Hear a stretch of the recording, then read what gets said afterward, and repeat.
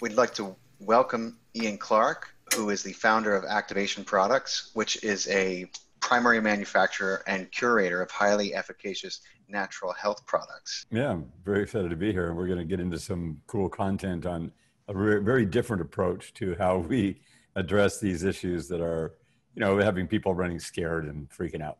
So, so you know, in a time during this pandemic when everyone is talking about a vaccine and we have people i live in new york city people are afraid to walk down the street mask or not gloves or not you know.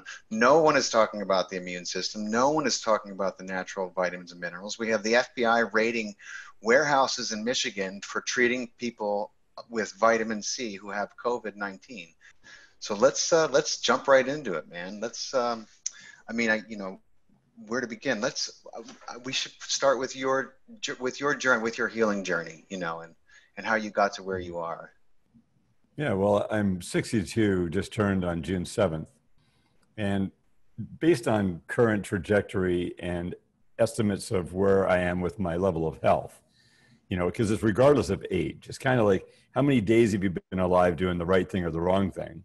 And how many days are you expected to stay alive doing the right thing or the wrong thing Mm-hmm. And when I was 46 years old, I was given a diagnosis of a lot of life threatening crap and also given a prognosis of around a thousand days left to live if what I did everything the doctor said.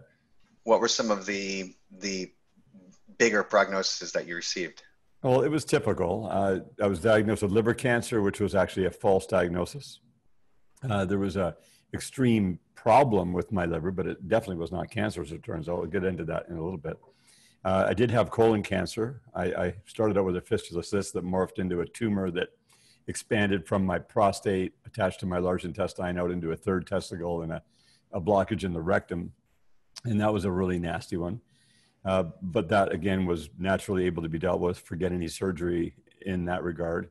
And then I had uh, heart disease, which was a lot of blockages and the and then a lot of peripheral stuff like just i was always getting sick always getting sore throats infections. I had lesions on my legs that were like i couldn't have any, any clue what those were.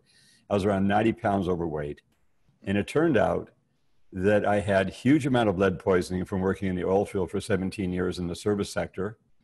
And we were running like downhole equipment. I worked on the rigs themselves where there's just nothing but lead used on all the connections. And they don't ever warn you about that right you know, they should just they should be screaming at everybody about that stuff, but never was anything said. Uh, my body was full of mold mm. and all types of different mold. And it's not the mold so much that's killing you as it is the the poisonous gases that they release that turns into toxicity within the body. And a number of other heavy metal problems like mercury and cadmium. Mm-hmm. So a combination of all that plus gut health was screwed all up and everything I was thinking, saying, doing was was off the rails. It was dumb, you know, just your right. typical 46 year old fat white guy in Canada, uh, you know, doing what everybody else is doing and thinking I'm going to be okay, you know? Right, right. Um, gut health is another huge subject that's been coming up, and I think that more people are aware of than ever. So we're definitely going to get into that and talk about that. But um, tell me a little bit about what kind of Western medicine did you did you partake in, and did, did you end up you know having surgeries? Did you end up having any chemos, or you know did you or did you just go your you know find your path? Um, tell us about that. Well, yeah, that's a good good kind of segue in. Uh, I've grown up in a family of medical doctors. Uh, like my oldest brother, 30 years uh, GP, had a clinic with 11 doctors working for him in North Bay, Ontario uh, my oldest sister was married to a heart surgeon, a guy that specialized in stents. Uh, my my dad had heart disease, died of of that at 76 after mm-hmm. battling for 13 years with open heart surgeries twice and aorta aneurysms. I mean, it's just my family very much leaning and getting all of us socially to lean towards definitely going to the doctor, listening to exactly what the doctor says. And the the thing that really struck me uh, in early in life. I was 20 years old, 1978. And for that year from 77 to 78, both of my uncles on my mom's side, and I looked very much like one of them, so I very much leaned to my mom's side. They died at 51 and 54, two days apart in September of 1978, both of cancer. Uh, both of them did exactly what the doctor prescribed and diagnosed them with and, and gave them the prognosis of a death at whatever time. And they were right on time wow. with their funerals. So when, we, when I saw that, I was like, man, that is so messed up. And they were at 51 and 54. And, and you know, when you're 20, 51 and 54 seems a little bit old, but I knew that that was really weird, right? Yeah. Because my grandmother, their mom, lived till 103. She died in 90, 1995. And here we are in 1978 with her two sons dying. My mom is still alive at 98. She mm-hmm. still lives in her own house, and that was their older sister. But I just remembered that they did exactly what the doctor said. So their doctor was their mentor for their mm-hmm. physical health, their advisor, the person who's going to treat them. They trusted him. And right. they did everything according to spec. You know, the chemo, the radiation. Well, my the one who I looked like, he died with no chemo and radiation or surgery because when they opened him up to do surgery, he was so full of cancer. They just oh. basically sold him up and said, dude, like, that's it. You just get your affairs in order. He died within three months of the diagnosis. But my other uncle, he was a year and he had liver cancer and he had several operations, uh, chemo radiation, went down to a total skeleton like I've never right. seen anything like before, where it was just skin stretched over his bones. Oh, it's terrible. Yeah. It was really intense because I hadn't seen him for the whole year from the summer of 1977 to the summer of 1978 because I was working in Alberta at the time. And when I saw him between the two, from being like normal healthy to like super mm. skeleton, that that you know that you, a deep impact. Yeah, that'll shake you. Yeah, but the thing was is that at you know here we are 26 years later in 2004, and I'm I'm facing worse stuff than they were, and I didn't know if the diagnoses were true because I wouldn't allow any biopsies. Somebody told me don't do biopsies. Like if they try to take parts of your body away and test them, that can cause metastasis. And so I had, had a um. little bit of knowledge about that. So I didn't want to. I, I really was sick and tired of the whole thing. All these things that these doctors were telling me that I had and that uh, that I was supposed to do about it, they could never answer the main question: was why do I have what I have? Mm what's going on. It was always a general assumption that it was genetic predisposition, especially my brother was a huge promoter of that because he, of course, knew my uncles personally, right? Mm-hmm. So he goes, Yeah, well, you know, you look just like Uncle Don. I mean, what do you think? It's genetic predisposition. I've had thousands of patients come to my clinic for all these, you know, 30 years. Mm-hmm. I see all walks of life, all manner of, of types and nationalities and beliefs and whatever. And, you know, it, they could be eating organic and juicing and die at 35 of cancer or eat out of the dumpster and party their face off and die at 94 it's all genetic predisposition and he said and he told me he said you're don't even worry about it just it just is what it is yeah you, you've been you know dealt a hand you just work with it do not screw around with this thing you go to the doctors who know they've been trained at university levels and had to deal with this crap you don't know the first thing about it and you got all these problems coming at once so don't screw around like just get this stuff done. Of course, yeah. You know, otherwise you'd be dead in like 300 days. So I was, I was just like, man, like I'm supposed to now accept that genetic predisposition, like a numbers game, a statistic is supposed to be like my deal. Mm-hmm. And I hated it. Freaking hated that. Yeah. So what did you end up doing? Did you, did you, did you well, go I started doing route? research. Yeah, I started yeah. going online and I started seeing like, what, what's up? And then, and I was getting sicker and sicker quickly. So I was I knew I was on a timeline and I knew that there was there was something really deep that had happened that was causing this. It wasn't just genetic predisposition. So when I, in the conversations with my brother and other doctors, I was I kept saying, you know, I got to have the answer why. It can't just be this genetic thing. I think it's what I'm doing. Well, long story short, it was absolutely everything I was doing. It had nothing to do with genetic predisposition. Uh, it was the fact that I was, I had, you know, been contaminated with all this crap in the oil field. That was catching up with me. I was eating fast food and garbage. I didn't even give a shit about organic. I just did whatever I wanted. I slept very little. I would be stressed out because I thought that was cool. Just go, go, go. Because I had a lot of energy until it ran out and I hit the wall. And then I'm sick as a dog, right? And you want to just lay down and die when you're that sick. You don't want to get up and do something about it.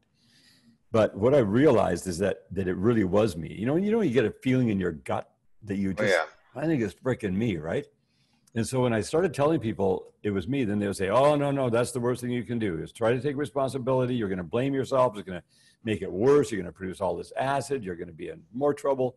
Just let the doctors take care of it. And at that point, I just went, okay, that's it. I'm yeah. Done. I'm freaking done. I'm not going to talk to anybody about this anymore. my brother phoned my mom and when I took over the situation and took responsibility for everything, Mhm. he phoned my mom and told her that I was committing suicide, and that was the last straw. Oh, I was like, okay, dude, that's it. Don't don't talk to me anymore for 24 months. I'm not gonna. You guys leave me alone. I am gonna figure this thing out. And I woke up one morning shortly after that with the realization that there are people on this earth for real who have done a lifetime of study, and they're the best of the best in each category. You know, the best violinist, the best oil painter, the best heart heart person, the best brain person, gut Right. you know, digestive, circulatory, you name it. There's always the best in the category, the best of class. It's just the, the way that the world is.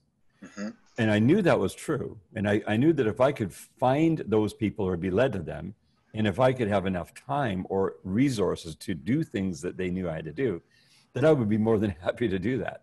Mhm. The problem was I didn't know who they were, where they were, or how to find them at all Right. and that was pretty intimidating just the, the knowledge of that and you could have given me 10 billion dollars back then i wouldn't have found them because Right. it was i had to go deep and i had to it was like this huge changing of the mind and just going everything i know is killing me Yeah. everything i'm doing is killing me how do i change where do i start and so it, i said it got to be simple it's got to be actually simple Mhm. but then when you go into the natural space, you got all these gurus who have all these differing opinions. I mean, this guy says only eat fruit. This guy says never eat fruit. This guy goes keto. This guy goes, you know, intermittent fasting. This one's over here doing all the opposites Right. and everybody trying to get followers. So I was like, well, I don't like that's mad. This pretty confused place. You Mhm. go to a naturopath and they'll read the riot act to you. Can you imagine if I would have gone to a naturopath at that time? I would have had 150 things on the list and all this stuff I would have to do. So what I, I, I kind of, it was like these little revelations that were coming to me, is that if you could actually do a reset, where you would go, you would dial it down, and go to the cause of the problem. Mhm. Because when you have a when you have a bunch of problems, people are offering a bunch of solutions. Mm. That is the worst thing because they distract you from going to the cause of the problem. If you can remove the cause of the problem, the problem actually just goes away and you don't have to solve anything. Yeah. And so that was that's actually what happened. And it took 5 years to start to find out what are the causes of all these things. That's how I found out about mold mold issues and heavy metals and what they do combined together against you in your immune system and how that totally confuses everything and that mercury fillings and lead in your system and all of this other crap that you're breathing all day. I found out that there's there's 10 billion pounds of rubber dust from tires released every year in the United States during Wow. that time. Not now because the cars aren't driving around, but at that time, it was all, all this nanoparticulates that are in, and you got all your heavy metals in the tires when they mm-hmm. manufacture them, all these plastics and stinking epoxies and solvents and whatever, and mm-hmm. the, and they go a mile and a half above every highway. And the government did a study in 2010, and they found that those numbers, Mm. and they were doing sampling with helicopters above the highways up to a mile and a half high was all just rubber dust. Oh that my one thing. God. You know, what about brake dust? What about fuels that aren't I burning? mean, I, and- I, I try not to run anywhere near a road because it's Right. just, I mean, like you have to be crazy. There's just so much toxic toxins in the air. It's crazy. Yeah. Yeah, well, that rubber dust thing was at the top of the mountains, at the bottom of lakes, all over every single farmer's field because the entire country in Canada and the US, in the, you know, Yeah. at least the borders close to the US in Canada, are just totally jacked with that. So you're breathing heavy metals 24 7. So th- those things you can't control. There's a lot of things you can control by eating cleaner and detoxing and doing that. But the most important thing I learned was that you, you daily, you have to start cleansing and nourishing. If you mm. try to cleanse too quickly, you can damage yourself. If you start dumping heavy metals too fast, they go up in the brain. Now you got another problem because it's more difficult to get them out of the brain if they're only down in your gut. So I, I learned all about gut health and leaky gut and IBS and diverticulitis and all the crap that goes on in that world and how that your neurological pathways are connected from your gut to your heart to your head and Yeah. everything is this super connection thing. And how do you how do you get back? So number one, how do you stop the damage from coming in first of all? Mhm. How do you repair the damage that happened? How do you then rebuild on top of that and start bringing in good stuff to start building up a really powerful body Mhm. and remediate every single thing that's happening in the terrain of your entire system? And I don't care if it's electrical terrain or biophotons or you know your your gut health bacteria, whatever it is. Right. It is a terrain issue, and you got to have a healthy terrain to be a healthy person physically. So let's get let's get right into that then. Let's. I mean, you you mentioned three things. Um, so let's get into what what you feel and what you've discovered in your journey that you now know. Would you say is are the essential elements that you that you used, you know, to get to where you are sitting right now? You know, very um, healthy looking. We're going to show a wonderful before and after photo that I don't think people are going to believe, but uh, um, you know, and and what how you implemented these into your daily routine. The whole thing that I learned most importantly for each person in this earth, because I got to be the test case. And, and I knew that I didn't want to spend all day long to try to be healthy. That's boring and expensive and OCD. Right. It comes down to a, a, deep level reset at a functional foundational level. So, what's the first thing you want to do when you wake up in the morning? That, that's when your life starts every morning because every day is a new life. You know, just like death, burial, resurrection. You know, you die at nighttime, you're you raised from the dead in the morning, you have your early day, which is your youth, your midday, which is your middle age, your later day in the evening going into the twilight years, and then you're dead again, and then you wake up again, right? So when, when you realize that you're living multiple lives like that, and every day is super critical, how do you start the day? What's the first thing? Well, I learned that hydration right away is super important because your body just repaired all eve, all night, right? Digesting all the nutrients that you had, doing all the DNA repair, get, you know, producing human growth hormones, just generally restoring as much as it possibly can, trying to stay ahead of the damage. Mm-hmm. You know, when you think about your body, is eh, you hit 21 and you start, you know, you're glowing at 21, and then right. if you don't take care of yourself, you lose that glow by the time you're 30, and then you're on this downward downward trajectory to a death in your 70s. It's like all messed up.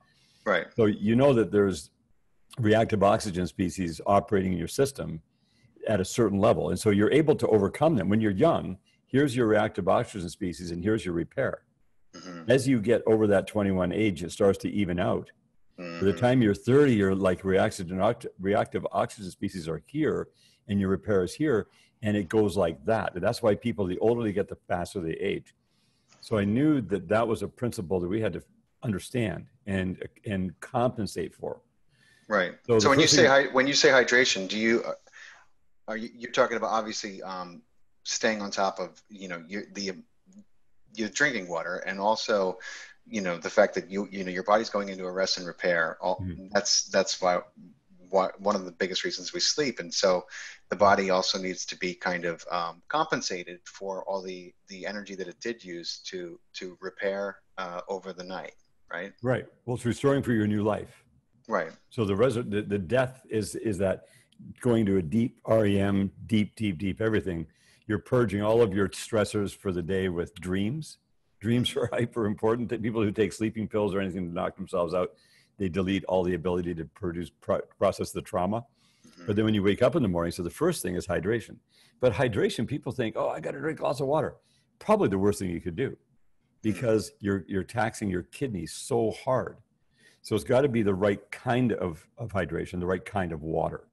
It okay. has to be certain mineralized. It's got to be structured not some fancy devices, just right. the real correct minerals because your body, when you consume water, converts it to what's called the fourth phase of water. If you look up Dr. Gerald Pollack, he, he discovered the fourth phase of water. The fourth phase of water is the, because your three phases are liquid, solid like an ice, and then a vapor, right? Like a cloud. Mm-hmm. So the fourth phase is either between the liquid and the vapor or the liquid and the ice. And that fourth phase is what's inside your cells. So your body is a super, you know, production basically right. biological thing. And your body can convert everything you give it, like a chemical factory, taking all the nutrients and putting them into the right state so they can be used by your body. Right. Same with same with fluids.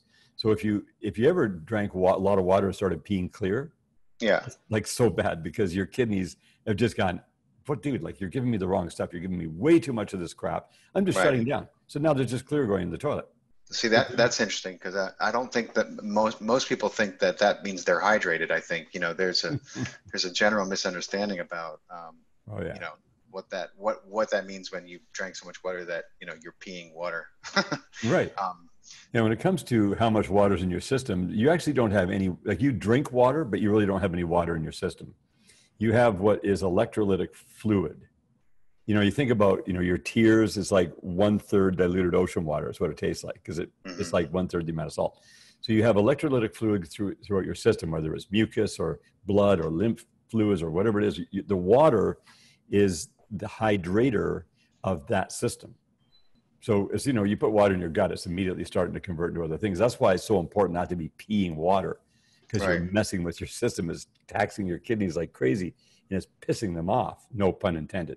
Mm-hmm.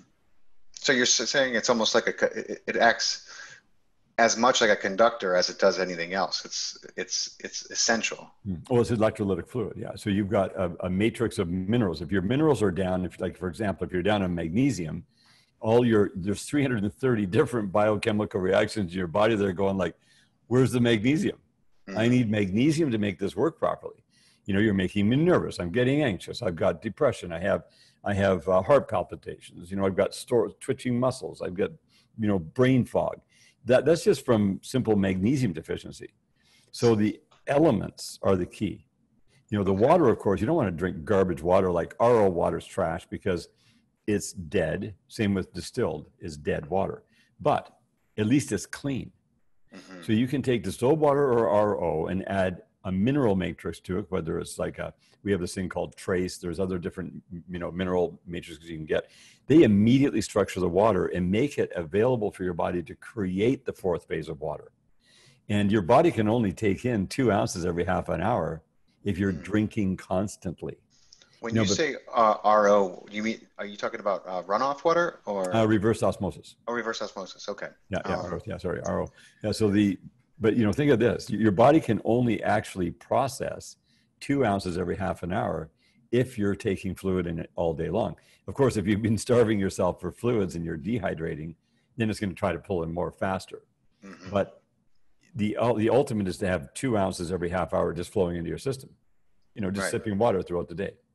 So, so can you talk a little bit about more ma- magnesium? Because you know, we learn about magnesium. I think when we're young, or and we're learning about vitamins and minerals, and then you never hear about it again. I mean, mm-hmm. maybe if you have a health problem, you, some people hear about it, or if you start to get really interested in vitamins and minerals. But you know, I mean, I had a sunburn once, and I think that my my wife used some kind of milk of magnesium product on me. That's the last time I remember hearing about magnesium. Yeah, in the medical world, there were like studies that started around 25 years ago now. Really good studies, like clinical stuff, peer reviewed, the importance of magnesium's role in the body and why it has such an impact if you have not enough. So it's called the master mineral because it's not only electrolytic, in other words, it's, it's what your body's using for your electrical processes, but it's also that catalyst for all your bio biochemical reactions. Mm-hmm. So your function, like just think about your brain. There's 80,000 thoughts to touch your index finger to your thumb. 80,000 thoughts that process wow. they measured. And we can do all of our fingers all at once and we can wiggle our toes at the same time. So every one of those thoughts require magnesium at the core. And there is magnesium in the food you eat. Mm-hmm. A lot of times the magnesium has been depleted over the years because the soils got depleted and there's not enough magnesium, right. especially if you're under any kind of stress situation or if you're having to use your brain a lot. Mm-hmm. And this became a super mind age. So you're every time you use brain power, you're burning magnesium as a fuel. So think of magnesium as a fuel, not just mm-hmm. an element, not just a structural thing. Okay. It's real fuel. If you take magnesium, like to the, they used to make rims for tires out of magnesium, that's what they call them mag rims. They don't do that anymore.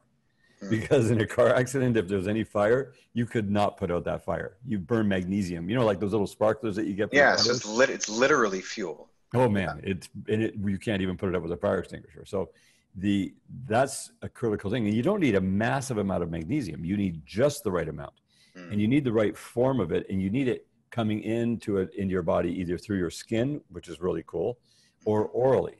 Now, if you take it orally, there are different magnesiums that tax your kidneys. So mm-hmm. people have kidney problem, kidney failure, they can't even touch magnesium orally. Ah. It's the form of magnesium. You want to have different forms. Like there's products like magnesium L-threonate.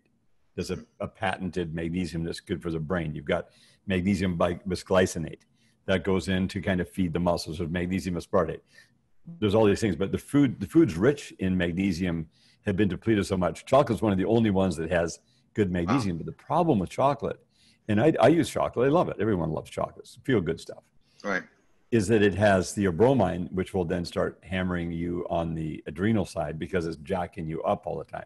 So, in order to have enough magnesium from chocolate, you got to have too much of it. Mm. Therefore, supplementing the magnesium, but getting a bioavailable one. There's chelated magnesiums. There's the one that comes into your skin is the is the best because it, you can put it geographically. When you eat it orally, you got to wait for it to get down to your ankle. You're got right. a problem. And if you just put it right in your ankle, so if you think about your your muscle function, mm-hmm. your the calcium is what contracts and the magnesium is what relaxes. You got to have both when you're mm. walking around, just that function alone. So people get stiff muscles, stiff joints. That's often most, you know, 98% of the time magnesium deficiencies. Wow. I, yeah. I, had, I had no idea that was the, that was the kit. That's so good to know. The place where it shows up the, the strongest is people who have used LSD in the past. Oh, that figures, you know, yeah. That was a very popular thing back, you know, in the, from 1943 to 1963.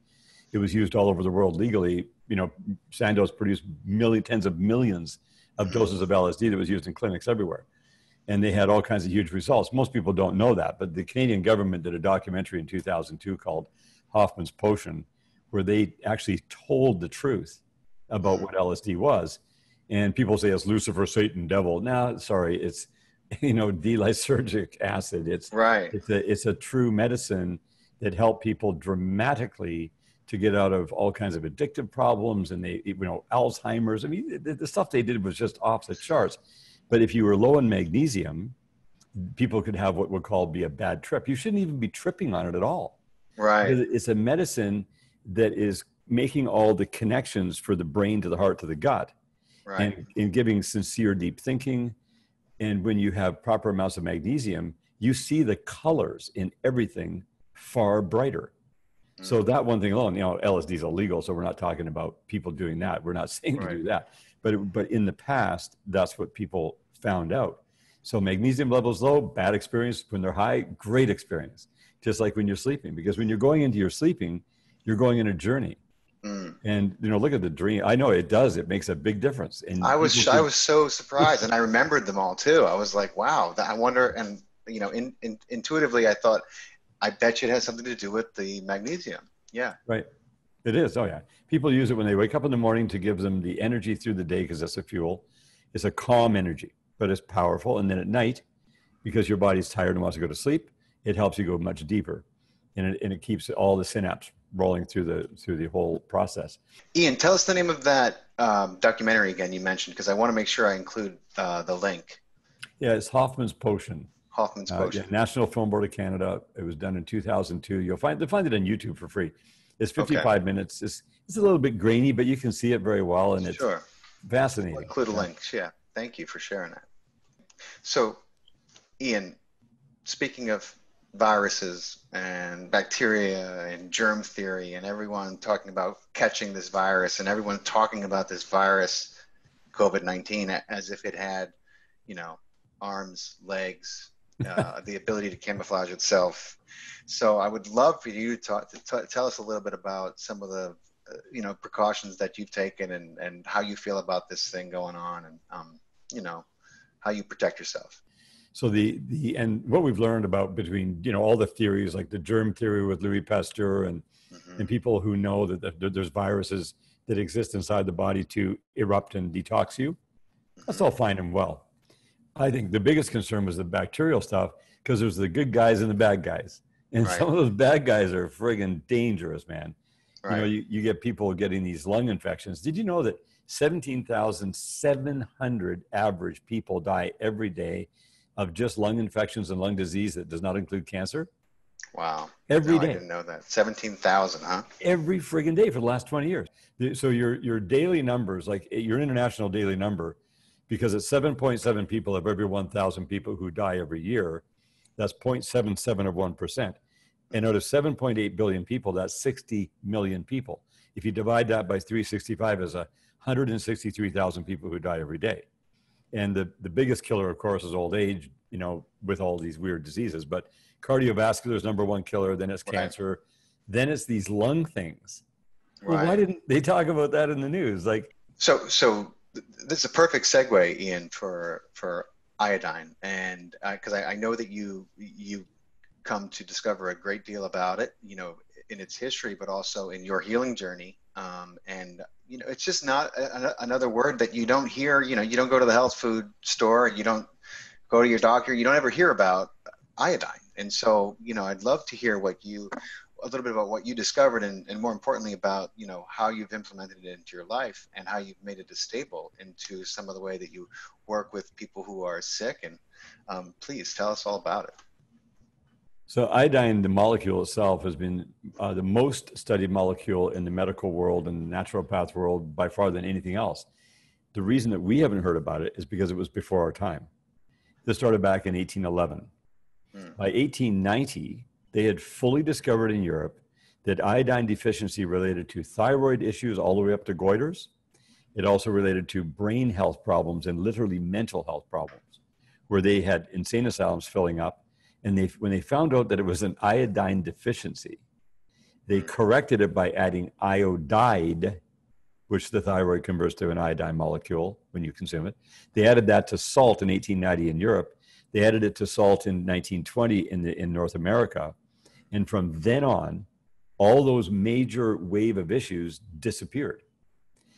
Problem was is that they added it to bread and beer, which was awesome. They added it to salt, and everybody was using salt. So when when the moms were having babies, as it turns out now, because they did studies on this in the early 2000s, published things like in 2005 and 2013 on how much it affects a woman in her endocrine health as well as her pregnancies and how it affects the babies is that when a woman is low in iodine uh, going into puberty at 10 to 12 years old as a young girl, mm. if they have low iodine, they have a 45% chance of forming fibroids, fibroid cysts, and ultimately fibroid tumors and breast cancer, mm. all related to iodine deficiency. A child being born in a woman who is low in iodine has a four times greater chance of being diagnosed with autism. So wow. instead of one in a thousand babies being born with autism, is now one in 59 in North America because salt got condemned in the 70s and 80s as bad for your heart, causing high oh, blood yeah. pressure and la da da, right? And people started taking Celtic salt and Himalayan salt, and they got, and then they took it out of the bread, they took it out of the beer, and replaced it with bromide. Why on earth? Who knows? Bromide gets into the receptor sites and plugs it so you can't even get the iodine iodide when uh. it's going to ah. show up. So these two things, these iodine term and iodide term, are very closely related Iodide is perfectly stable. That's what's in the ocean. Mm-hmm. Uh, 1,000 metric tons of iodide is released. Iodide is released into the atmosphere, goes up and reacts with the ozone layer, turns into iodine, comes back down through the cloud formations, turns back into iodide, mm-hmm. and hits the earth. So it's this whole functionality thing. Every rubber tire in the world has to have iodine in it. So in the Second World War, when when uh, down in Chile they tried to commandeer all the iodine, iodine that's normally mined down there. The United States government had to go down there, grab a whole ton of it, make a mountain of it in the United States, so they'd never run out of iodine for making tires again. I didn't even know they did that, man. That's yep. crazy. Figures. Every circuit board, every circuit board and every computer has iodine in the manufacturing of it. So your system, your body, every cell in your body has iodine and your thyroid and your brain use iodide. So what's the best of both worlds? Well, you, the, this, the second best is taking iodide every day and salt, which they've done. We make an iodide product. It's pure, not potassium iodide, just pure iodide. Is made from iodine through a special reaction we do. And then we also have iodine in its pure molecular state. Now, this is the first time in history that it's ever been made available like this. Wow. If you go back into the 50s, you start to look at the peer reviewed clinical trials and studies they did on viruses, for example. Uh, Povidone, which is a brand name for iodophor technology. Iodophor is a, when they discovered that plastic absorbs iodine gas, mm-hmm. and they go, oh, that's an interesting way to store it because iodine gas just wants to leave and run away. And, you, and they were having trouble stabilizing it. Mm-hmm. Well, they could stabilize it in plastic, which is not good for you because that's full of right. estrogens. And of course, you don't want to take plastic in but they use it for the external, for washing hands in hospitals, because mm. they figured out how to get it into the plastic and then get it to release from the plastic. In the, in the 50s, when they started doing all the clinical trials and studies on viruses, they chose the strongest virus in the world, which is a polio one, the most difficult to deal with. And it did a lot of damage to a lot of people for a long time. Mm. Well, they, they took the iodophor tech, which is the plastic iodine, and they that releases between five and eight parts per million. They exposed that level of iodine release to a polio one virus in a in a you know in vitro, mm-hmm. and it, they, it completely deactivated that virus within 30 minutes, so that it had it would never come alive again. Well, wow. they're not alive, but it would never be active again. Right. It would never right. do damage again. And and that was this huge breakthrough. Well, fast forward to today. So when you have 150 parts per million of a much smaller molecule in the form of a gas in an aqueous solution, and you let it release out of the water, which is in like a microsecond instead of taking 30 minutes, and you you carpet bomb it with 150 parts per million in a microsecond, four seconds later, polio one virus is deactivated. Wow. That's the wow. current technology. Now, we're not interested in running around and saying, oh, well, you know, if you take this special iodine and it's going to cure this and it's going to do that, forget it. Let people figure it out for themselves. It, it, you, you can, they can go back into their own science, do their own studies. All we're doing is providing the right form of iodine. They got to do right. their own studies. We don't make medical claims because we have actually no right to make a medical claim. Why? There's no clinical trials, there's no double blind placebo controlled randomized studies right. on our iodine. It just so happens that we have the, the top form and the smallest molecule with the fastest acting on whatever you're going to use it for. Right. And iodine has thousands of applications from treating water to, to allowing uh, chickens to live with a, with a much lower mortality rate, almost to zero in these big chicken barns, you know, where they right. have 36,000 chickens. It helps plants grow faster. It remediates soil problems. It, it cleans the air. There's atmospheric iodine that we have. If you take it inside your body, it completely helps your body to regenerate itself because it's just a raw material. To say that iodine cures something is actually a lie. Mm-hmm. Because that's like saying, oh, yeah, here, this element is going to cure that. No. Right. Your body is a living being mm-hmm. and it's using all these different elements and nutrients and whatever to right. produce the things that your living body has. Because if iodine cured cancer, for example, which is such a dumb thing, anybody who talks about cancer cannot be cured Cancer is a disease. It doesn't like to be cured. It's right. not interested in being cured. It's interested in killing people. Right. There's no cure for cancer. Right. There, there's an ability to support a person's body to get well. That's right. But yeah. forget the friggin' cancer stuff because cancer is in the body showing up to help the person to get That's well. right. That's right. Just like a virus. One of the biggest misconceptions about human health, and obviously because we've been treating symptoms and just symptoms for so long that uh, you know we've forgotten that those are there for a reason. And and mm-hmm. whether it's virus, whether it's a cancer, whether it's tumor, that is a messenger. You know, and so I always alarm. Yeah, that's right. It's an and it can be a very you know a very big alarm, especially when you get a diagnosis like you did. So mm-hmm. I'm so glad you said that because we need to we need to reevaluate how we understand human health. I mean, ev- everybody does, you know, and right. uh, it's a great point. So uh, I'm sorry, you know, please continue. Mm. It's, it's not the same as magnesium. It has a different vibe because magnesium has 330 biochemical reactions. Iodine has every single thing happening in your body requires iodine. Right.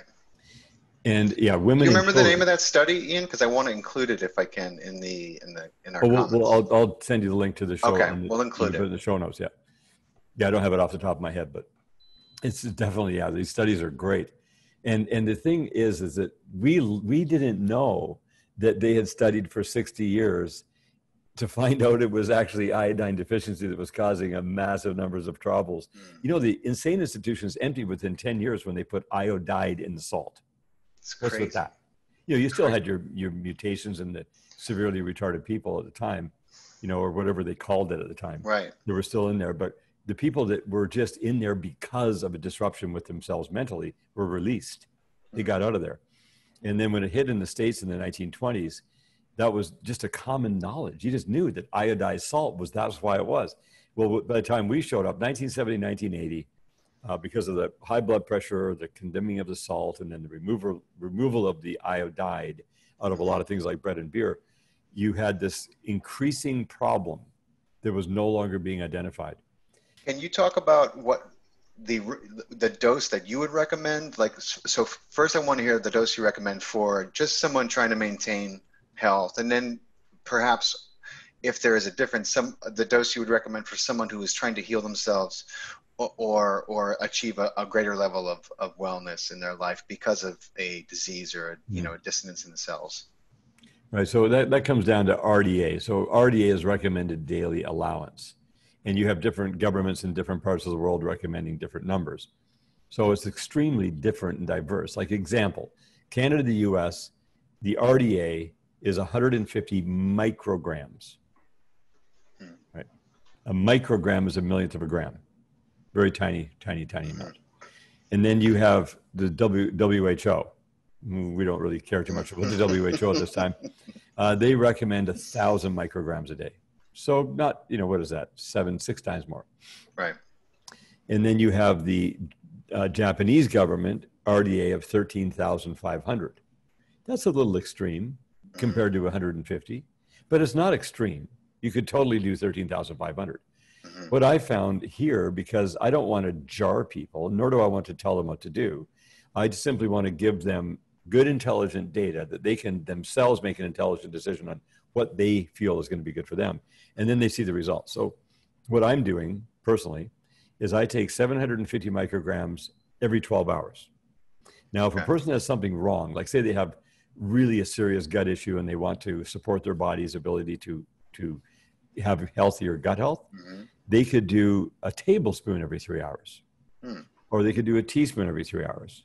And, they, and as long as they're ready for a bit of a ride, because it is going to detox them if they have a lot of garbage going on. They may get right. a bloated gut, they may get a clearing out of their system for a little while. But it is very important for people to take probiotics, and, and however they get them, whether they go to the store and buy them, whether mm-hmm. they get the shelf stable stuff or the refrigerated, or whether they go get kefir and make their own dairy. There's a whole number of ways to build your friendly bacteria. The whole idea is to del- delete the unfriendlies down to a properly manageable level and build up the friendlies so that your body is super intelligent because you have more bacteria than you have cells in your body. And that right. bacteria, when it's healthy, that is driving quantumly a huge amount of gut instinct, mm-hmm. heart passion, and head calculations. There, it's all tied in. So the iodine plays a massive role in making sure you get the unfriendlies out remaps all your neurological pathways with the proper elemental stuff that you require mm-hmm. for circuitry, and at the same time allows the friendly bacteria to just flourish. That's so, that's that's the protocol. You know. You know, one of the one of the things that I learned years ago, and I'm studying with Dr. Joe Dispenza and studying the placebo effect, and my, and seeing firsthand how powerful the placebo effect is, and and and having very close friends who have you know have used meditation techniques, diet to to you know take care of stage two, stage three cancer. I mean, that's that's no that's no BS. You know that I, I, I was a party to and witness to that. So I would love to hear your thoughts about the nocebo and the placebo and and and, the, and how beliefs come into play. Yeah, placebo is one of the coolest things out there it uh, because it works in conjunction with all the things that are right. Like if you if you're taking, it's like when you shift from eating junk food to eating organic, just that knowledge that you've done that alone mm-hmm. creates this huge placebo tsunami, mm-hmm. and it's so so if wonderful because nothing feels as good as feeling good. So we would relate placebo to feeling good. Mm-hmm. And when you feel good, then you go, wow, that worked, and then you do more of that. Then you get more of that working, and then it becomes a quantum thing becomes yeah. a reality. And people see it and they see your glow and they go, wow, what are you doing? Very interested in this. And then they start to mm-hmm. believe that they could do that thing. So it, it is it is an inspirational thing, this placebo. And we mm-hmm. can build placebo by doing more of the right things that we just know mathematically makes sense. If I'm working in the oil field for 17 years getting filled with lead poisoning, right. There's a placebo around that too, which is the belief that that could be very bad for me. Right. Just knowing how bad it was. And then when I woke up to the fact that I was full of it, then I'm like, wow, I got to get this out. So there was another placebo that came in to get rid of that crap. Mm-hmm. Well, the unfortunate thing is, and it's only unfortunate if you're not aware, is that nocebo is probably 10x more powerful than placebo. And that is a known thing that's used against us all the time. Because if you're not aware of the dynamics between placebo and nocebo, oh, you're yeah. going to get freaking bulldozed. Yeah. Right. I mean, and you're seeing it. You're seeing it. You know, all the time. You know, go ahead. I don't want to interrupt your your flow of thought. Yeah, placebo is the thing that builds you up and empowers you and gives you the dynamics that go with the mechanics. So you think about mechanics and dynamics. Mechanics are the physical things you're doing, the exercise, the food you're eating. The Mhm. dynamics are like the gasoline in your tank that's going Mhm. with a perfectly mechanical car that has a spark. Dynamics make you go down the road. So that's your placebo is that thing that comes in and empowers you to continue to do the right thing and to get more and more dialed in. Whereas nocebo is the thing that tears you down in the subconscious world Mhm. you don't even realize it's tearing you down. And the Right. best example of nocebo is they put it on the news starting back in the 60s. They said, "Oh, did you know that that one in every seven men and one in every nine women is going to get cancer in this lifetime?" Mhm. And then they, as it graduates on, Self-fulfilling prophecy, absolutely. well, you yeah, but actually, yes, but it didn't have to be because by 2010 they're saying, "Did you know that now, after all these years, that one in every two males is going to get That's cancer right. and one in every three females?" That's all total bullshit, complete lies. But if I hear that on the news and I go, "Wow, really?" and then I say that, "Did you hear that?" Blah blah blah. That becomes a reality to me. That nocebo is now made real by me speaking about it, hearing it, believing it, and then telling somebody else. That cre- that makes the nocebo a reality. Otherwise, it's just the nocebo sitting there not affecting me. That's right. If I And go that's it. total bullshit, right? It's not true. There's no friggin' way. And then when you do math, let's just do some math. And we'll talk about the University of Texas in a sec because that's going to tie in. But Okay. let's just do math. Let's do cancer, for example. The American Cancer Institute, right? The society, the Mm-hmm. Canadian Cancer Society, start in early 1900s. They get funded by what? The Tax, tax rebatable dollars, Right. donations that you can take off your tax. Right. And, and then they they're they're finding the cause for cancer. Let's find the cause for cancer. You know, one percent of the people have cancer. There's seven different types. It's terrible. We Right. gotta find the cause. The more money they get, the more research they do, the more people they pay at the high level to do actual research, the more carcinogens show up, the more causes there are for cancer, the more cancers there are, and the greater number of people are getting cancer is not diminishing. And you would think after 120 years, it would be long gone. But no, no, No. there's now No, we have seven. thousands now. We are we Well, are finding new cancers every day. Are you kidding? Exactly. Yeah. Yeah. 700 instead of seven, and now 50% of what is, yeah, really cool, guys. Awesome job. Yeah. So th- that's your typical. But then the University of Texas, and I'm not sure if we talked about this in other conversations before, but it bears note that they did a, a total placebo surgery thing with 300 men in their mid 70s who all had to have arthroscopic surgery on their knees because they were bone on bone. And so they did this totally cool study where they took the first 100 men, did the complete surgery, which was the incision, the rinsing, the scraping, the rinsing, the, the suture, and then done, half an hour surgery. And they had all the sounds and noises and everything in it. And it was all behind a curtain, and everybody was awake when it was being done. Uh-huh. using a local anesthetic. And they did the next 200 only with the, the incision, the rinse, and then the sew up. And the third one is just the incision, no rinse, no scraping, no That's the documentary that that we you spoke about, right? That's Yep, uh, placebo back- surgery. placebo cracking the code. I think I think they I think they renamed that. But Oh, okay, yeah. we're going to include a link to that. That they're Yeah, calling cool. it placebo cracking the code. Yeah. Um, so we'll yeah yeah so that wasn't the problem though. See, because they banned that on 60 Minutes, and I was like, why would they ban that on Oh, 60 yeah. Minutes? What's can't that all that getting out. That Yeah. was the big alert because it wasn't about the placebo. It had nothing to do with the placebo. Hmm. They didn't want people to find out that nocebo existed at all wow. and that nocebo is so much more powerful. And if that was so powerful to do that, how much more power is on the human mind subconsciously from nocebo mistruths? And that's the deal. That was Oh my. God! If if people understood the truth of that, the the media would be out of business. I mean, they would be That's right. they would be forced to, to shutter because no mm-hmm. one would watch. No one would. There'd be no advertising dollars. They'd I be mean, looking for that nocebo continuously. Yeah. Right. Yeah, I mean, and, and they don't even. I don't even think they realize how much they're invested in it. You know. Now, I'll bet you the majority of people we could meet, we could do a survey. I would guesstimate 99.9% of the people on the earth have never even heard of nocebo. Mhm. And the greatest video I think that everyone should see right now to help them to get it, what's happening, is published in 2017. And it's called 10 Myths About Government Debt. Ten The minutes. 10 Myths About Government Debt. Antony, Yeah. A N T O N Y, not an H. Davies, D A V I E S. And he was published, it wasn't even his own channel. He's got his own channel, but this wasn't even published on his own channel. Mm, And he's done an updated version of this recently after this whole COVID thing hit, but he's not referring to COVID in it. because he knows yeah, that he's that's not what it's about, right? right. And so it's it's just to give a, a snapshot.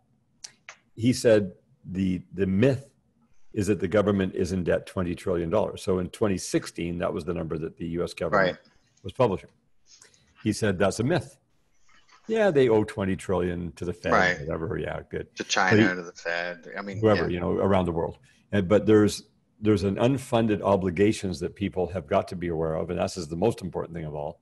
And the unfunded obligations are the retirement plans, the pensions, Oh the yeah. Medicare, the Medicaid, those make up the bulk of those unfunded obligations. And they are a federal level, a state level, and a municipal city level.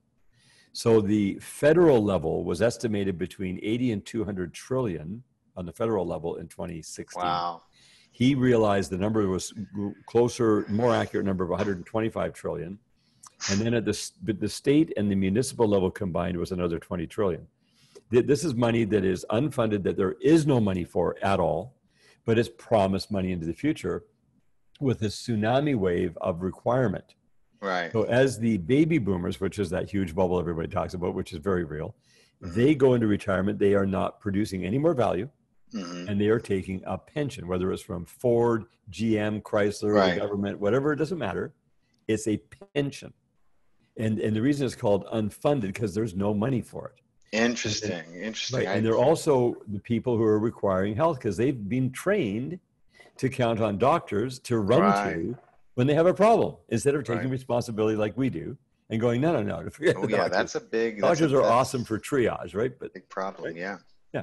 so that, that's and that was in 2016 wow what is it five years later so you go you know 17 18 19 20 going into 21 now we're into the fifth year of this the situation is that there is been no money for five years and what have they done to compensate it they've been printing money on a computer adding zeros to the tune of billions of dollars per day every day Hmm. billions per day every day since then now, if you don't, if you do that and you don't tell the people, because normally it used to be they would print paper money that was based on gold, right? Right. You right. would only print the amount of gold you had, and if you had to put more gold, and if you told people, "Hey, we got to print more money," that caused inflation. So that this phone at fifteen hundred dollars right. right? for a high-end iPhone, if you print double the amount of money, now that's got to be three thousand, whether you like it or not. Right. And your wages, if you're made fifty thousand a year, now you have to make a hundred thousand a year. Right. That's So you can't. You can't do that. You can't. So you just can't tell people. Well, right? they did it without telling anyone. Yeah. and they've been what I doing mean. this for five years. So they they kept doubling and doubling and doubling. Now this iPhone realistically should be closer to around six thousand dollars right now. Right. But it's not. Right. And our wages should be up around six hundred thousand. Right. Okay. And you know, if, if we're an employee, but it didn't. They didn't do any of that. So what was built is this incredible fiscal cliff that's real that took it up and up and up without telling anybody, and then they're going to announce it because they can't. They ran out of the time for printing the money without telling people. 2020 was the year that they ran out of time. It's that's all it is. So so they needed an excuse. They they needed a reason to to just start. I mean, the start all the printing presses up. Yep. We you know we need an excuse to try to catch up to this, because if No we catching. don't, it's all you know. The whole thing is is, curtains. There's a line you walk over. When you walk over the line, there's no return. Right. Now, now Antony Davies offered real solutions back in 2017 when he published that video. Real solutions. hmm Talked about the cutting of, of, of cost and on spending, right? Cutting your costs. Yeah. We'll include a link to that video as well. Oh yeah, yeah. It's, it's awesome. And, and to make a long story short, they didn't listen. They weren't going to listen. This is an agenda-driven thing. The Yeah. governments are 100% bankrupt. They are definitely going to default on all retirement payments. All Medicare is going to go away. It's, it's done. It's finished. All of your big companies, Ford, Chrysler, GM, I don't care who they are, Air Canada, United, they're all going to default on all retirement pensions, Wow. 100%. And that, and then there's going to be nothing other than no money for the people 60 and up who did not realize they have to be self-sufficient and take care of themselves Wow. they are going to starve because they're not going to have money. They're going to get sick and there's going to be no Medicare. And that is going to cause an elimination of that category of society because they are the burden in the eyes of the government. Meanwhile, the uh, nursing home death toll is one third of all of the deaths in the United States. In Somewhere Canada, around. it's seventy percent in Canada. Oh my God. Like, Like, what's the deal? fif- I mean, that's that that that's a that. I mean, I you know, thank God I.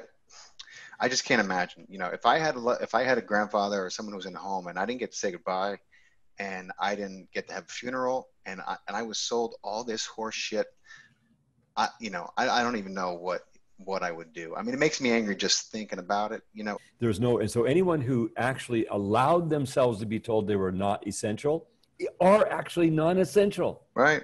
They Right. declared it. You know, that's that nocebo, right? And Right. the placebo, all together. Oh my God. Yeah. all together because the nocebo was you're not essential and the placebo was i'm not essential right. and the, the, the nocebo you're going to lock yourself in the home and, and self-incarcerate yourself i'm going to lock myself and stay safe at home Right. oops now, now you Safe got at the home. effect. Right. Yeah. We're all in this together. Oh, Except you're except you're alone. as soon as i heard that i said that's bullshit i'm not in this at all Talk about a fucking bill of Not sale. at all. God. total don't, insanity Don't even get me started. Ian. right well just- anyway so that- yeah yeah so just so just so we have a, a recap of everything, Ian. Uh, you know, I would love for you to kind of go through, just recap some of the things that that anybody watching this can do. Um, to to you we're talking about you know, health, survival. You know, some of some of the advice that you would give them, um, some of the products that you have available, and if they can't afford that or if they can't find that, you know, maybe an alternate some, somewhere else they can find this um, element to to help them feel safe in this time we're living in. That'd be awesome. Now you've still got all the same crap coming at you with pollutants and diseases and infections all that crap is still there we have all those answers anyway how to how to guard yourself you got to arm yourself to the teeth against all physical uh, contaminants all mental contaminants and all emotional contaminants Mhm. now spiritual contaminants are a whole different thing Right. you know we, that's a whole nother We'll have to cover matter. that. We're not going into that today Okay.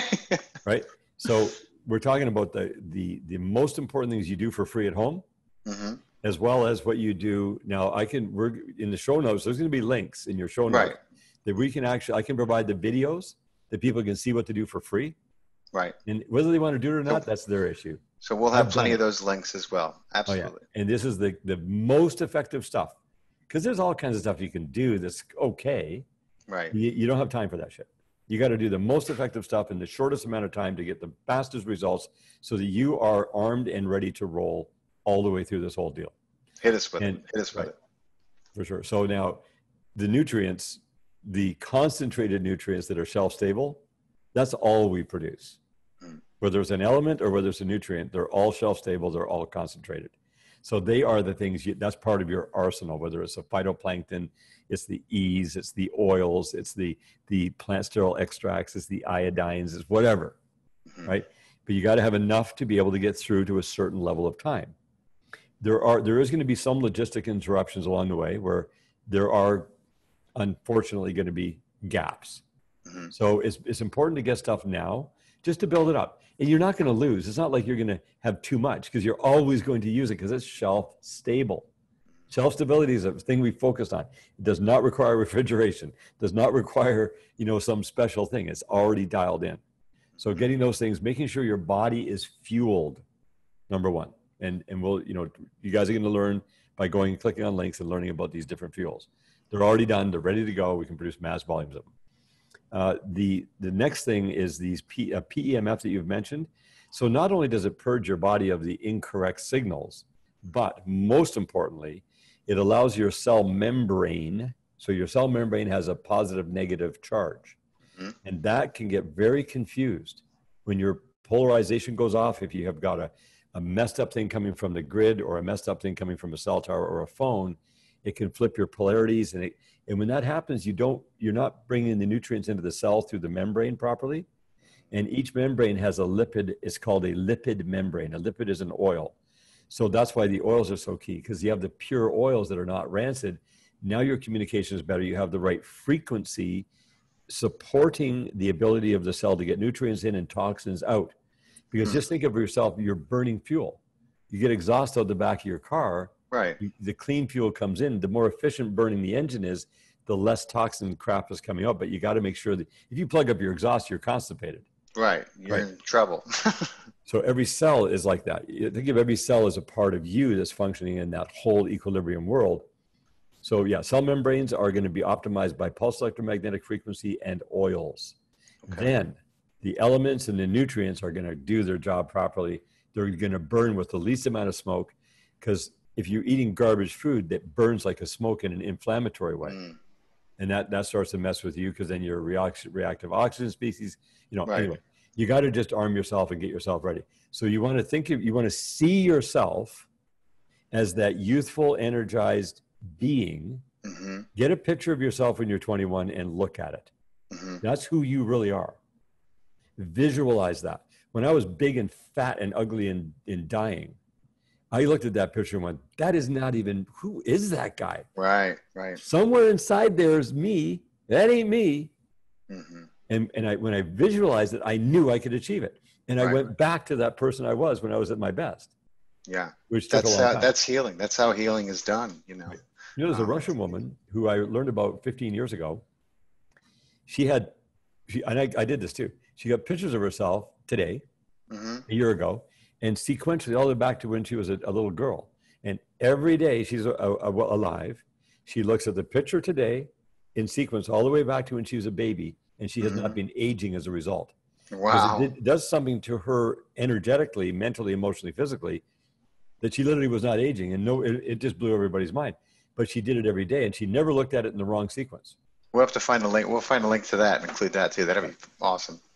The other thing I wanted to ask you about Ian, before I forget, is you, you know, we, we, we saw a lot of doctors coming out and talking about the deficiency in vitamins that uh, a lot of people who were coming down with COVID 19 were, were having deficiencies in zinc. Um, you know, you had a lot of talk about deficiencies in vitamin D, especially among um, Africans, be, because because of the uh, level of um, yeah, the skin pigment, yeah, right, their skin pigment, and because of it's it's a little more difficult for them to take the vitamin D in from the sun. And um, I mean, I would love to hear your thoughts about it, uh, about all that, and what some of these doctors were talking about, maybe. Yeah, that was a trend. The, the doctors definitely noticed that, you know, and this applies to all diseases because of the acute nature and the focal point on the COVID 19, the coronavirus. They were saying, oh, wow, th- this is like really actually more common than we thought. And then everybody chased out to take vitamin C and vitamin D and zinc and mm-hmm. all that stuff which is fine. But that that again, instead of waiting for something acute to show up, we we want to think about all of the elements of how important they are to keep ourselves right. at the highest state that we can be, so that we're not susceptible to those things. Because any one of us, or, or could catch anything, could right. go into a state of of lack of equilibrium and disease.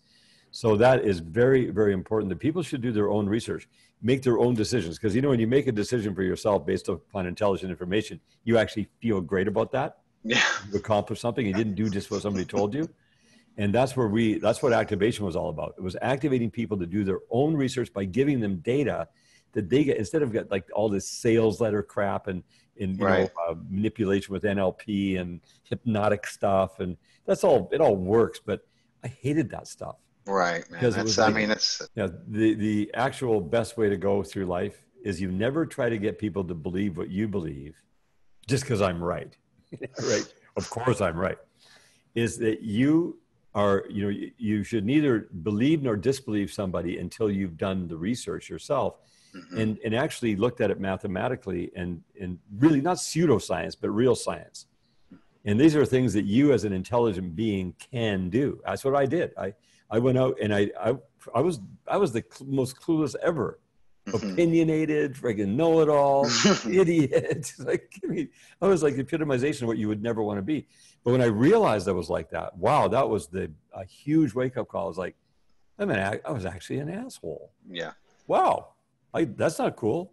So how do I how do I get that, you know, out of my system and where I'm not trying to get you to believe what I believe because I'm right. Right. Because that sucks. That steals your journey. And, and, and uh, you know, there's all the doubt. Doubt is a constant problem because everyone's heard it all, haven't they? Right. All the salespeople, all the sales copy, all the manipulation, all the NLP, all, all that crap. And right. people are sick of it. They just want to have solid info take responsibility for themselves, see the results come in, and not be disappointed again and again. So, because I, what I wanted for me was I wanted the very best, most efficacious things at the very best price. Mm-hmm. I didn't want to have to pay ridiculous prices for things. And if right. I wanted that for me, then I should legitimately want that for my clients and the people who I'm here to serve, because I'm here right. to serve them. They don't serve me. Right. Right. I'm here to serve them with the best stuff. And I was granted the access to all these things, did the work for them, and I'm giving that for free because that is the information. Everybody gets a great buzz after right. telling somebody something that worked for me is going to work for you and how you're going to approach it. That's where the big buzz is. That's why we're doing this, this interview right now. Exactly. Our buzz in life is seeing people do great. That's right. And you have a, an awesome site in activation, an awesome line of products. Um, and, and, you know, and you're kind and kind enough and generous enough to, to also say, look, you know, it's this, you don't have to get it from me, but you should get it, you know. And I mm-hmm. and I I love that about you, Ian. Um, and uh, you know, thank you for sharing your knowledge with with all of us, everyone listening. And you know, it's it's an honor to talk to you. I'm sure we're going to have to talk to you again because I'm going to start using um, a bunch of these products, and I, and I would love to talk to you in a, a, few weeks and let you know how it's going, what's changed for me, and um, yeah, and we got a lot of links to to showcase from this interview. So Mm-hmm. Thank yeah, you the, so much. You yeah, know? the fun has just begun. One last question for Ian. During this time we're living in, if you if you had to, like, let's say you were on your way out of here, off the planet, and you bumped into some some some of our friends in a UFO, and they were coming down, and they were said, "What before you go, man? What were three things that what give us three things we we, we're going to need down there, you know, to to make it to survive. What would you What would you tell them? I'm so curious to know. No, well, the uh, the three it would be uh, a, a means of making sure you have pure, clean, structured water, because that is number one. Okay. Yep, making sure you're in the flow. Number two, shelf stable nutrients. You know, unless you're a, a sun gazer and you know how to pull all these right, right, right. Maybe they will be. I don't know, but it's good to know. People can do that. Yeah. I, I don't know how to do that. Uh, I've, I've, done some sun gazing in my past, but uh, yeah. Uh, definitely shelf stable nutrients, elements. Nutrients and elements are, you know, like foods, concentrated foods, that kind of thing, mm-hmm. and have a good amount of them. Mm-hmm. And then a device that would keep your entire energetic system electrically lined up. Okay. And definitely a wearable PEMF. Uh, outside of that, of course, everything is based on knowledge, you know, mm-hmm. based on discernment, knowing the places that are safe, knowing the places that are dangerous, right. and staying in the safe place that you can be at all times, spiritually, mental, emotionally, and physically. Right. And do not believe what people are telling you from the mainstream because that mm-hmm. deception at its highest level. Mm-hmm. But certainly discern, and there are people who have the truth but making right. your own wise decisions. You know, that's what's led me here um, in this conversation we're having is, is my intuition and and going from my heart, following my heart, speaking my truth. And um, that's why it's so great to have this conversation and, and share this with people. And I and I know that it's you know it's something that people can immediately listen to. You know, go click on a few links, find out a few things, and take steps to to improve their health, maybe dramatically. You know, so that's awesome, Ian. Yeah, and it, it, I would say the, the, one final thing for the Earthlings, which we are, mm-hmm. is to certainly realize that that we are in many areas still deceived. That we're coming out of that deception as we go, mm-hmm. and that we have we don't know we don't know, and that an increase of knowledge of the the real knowledge is super essential, and to take responsibility for yourself and your family and not let anybody else try to take that from you. Absolutely, man. Absolutely. Those are good, those are good words to live by. Mm-hmm. Yeah, man. Appreciate it so much. Yeah, appreciate the time, fellas. This has been fun. Been Absolutely. Great. We'll do it again. We'll do it again soon. All right. Cool. Yeah.